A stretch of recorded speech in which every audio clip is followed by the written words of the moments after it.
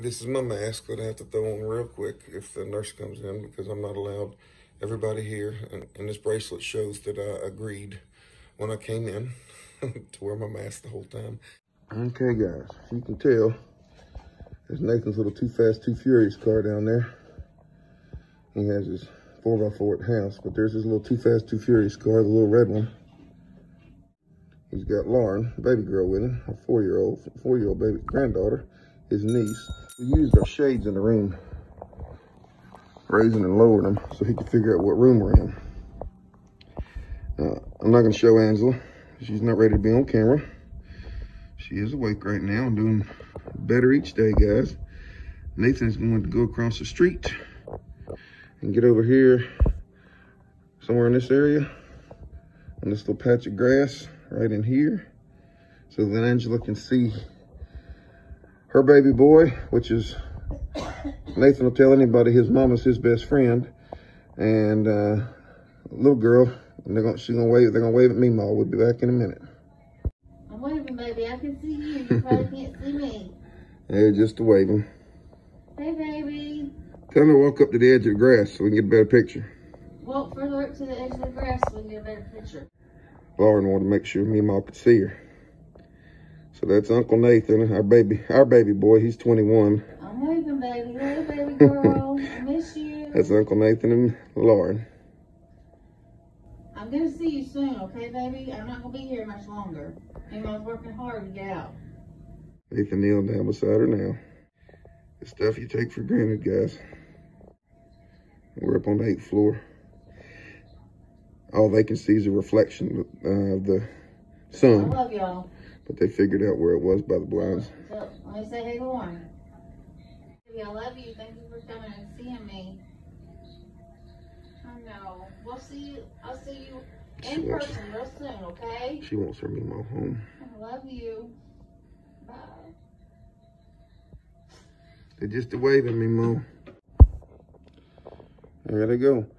Lauren wanted to know why Meemaw couldn't just come home with her now. That's what she kept asking her. It's heart-wrenching, folks. We don't like it as adults, don't understand, so four-year-olds really don't understand. Going down. So guys, lunchtime, had to get a little bit of lunch. Angela's resting comfortably.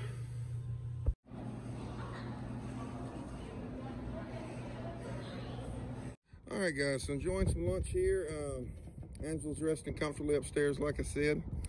Uh, she's actually sitting up in a chair. First time she's done that in a while. She and I walked around a little bit uh, around the room, and um, which is a big step for using a walker. Uh, that's one thing that they want her to do to get uh, everything moving on her insides a little bit better. And of course, just to get out of the bed and walk around is another step toward walking out the front door. But, um, you know, one thing I wanted to show you here is that, uh, you know, I spent a lot of time, those of you that know me and have known me most of my life, I spent a lot of time in a hospital with my mom growing up, myself and my brother and my dad did. And, uh, man, hospital food's come a long way, especially in these newer hospitals that have, uh, the newer cafeterias slash bistros. They actually had a seafood bar here. Um, had a lot of fried food on there, fresh fried fried food. So I chose the more of the home cooked uh, home cooked stuff. But uh, y'all check this out. Pretty well. The wind's blowing, but I want to take advantage of coming outside while I could. It's a beautiful day out here. It's about 53 degrees. Um, beautiful sunshine, so it makes feel warm. We've got some homemade lasagna there, which they said they did prepare, and it looks like they prepared uh, rather than just buying it. You got corn, green beans. I've got some lobster bisque and some good fresh apple cobbler, along with my unsweet tea there. So, so guys, I'm gonna say my prayers here over, over lunch and dive in, and we'll see y'all here in a little bit. Hey guys, wanted to give you a little bit of update after the lunch update. I'm sorry. You can get away with calling that dinner if you want, but do not get dinner and supper mixed up. In the South, we have lunch and supper. You don't have dinner in the South. Dinner's not replaced with supper.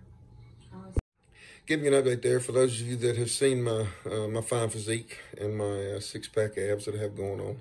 You know that uh, that I didn't eat all that food.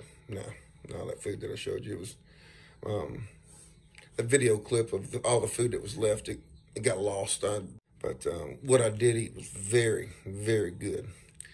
Um, most definitely, food has come a long way in the hospital. So um, this is my mask that I have to throw on real quick if the nurse comes in because I'm not allowed everybody here. And, and this bracelet shows that I agreed when I came in to wear my mask the whole time. The visitation here at the hospital, um, I am considered a caretaker. Uh, the hospital is considered still on more or less lockdown. Uh, it's not open visitation um, like it was in 2019 or anything to that effect, but um, I'm considered a caretaker, uh, is what I'm called, and um, gets one caretaker per day. if I come in and I sign in as a caretaker, I'm the only caretaker she can have all day. So if I come in and I'm here for 30 minutes and I leave, that's it. She doesn't get another one. Nobody else can come in here for the rest of the day. So 7A to 7P are the time that the caretakers are allowed to be here, and it's only one per day. You cannot swap out to another caretaker. So that's the way the visitation goes. Angela is doing uh, much better. She's continuing to get stronger. The um, the doctors are uh, are continuing to to give better uh, better smiles and better um, better prognoses. Uh, Angela has um, uh, the NG tube is gone, which is the tube that goes into her nose, down into her, um, through her esophagus, down to her stomach. That tube is gone. Um, functions of her GI tract and the stomachs and intestines and bowels are continuing to, they're starting to function better.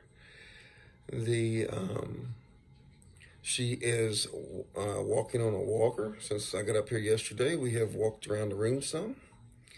Uh, she has gotten up and sat in this exact chair that I'm sitting in. She sat here for a couple hours today uh, changed her view, the view from the uh, the penthouse, that is. She is improving, steady improvement. Um, the doctor's idea, uh, having a visitor, having a caretaker, um, would help kickstart her. She got to the point where it was a good thing. I know it helped kickstarted me.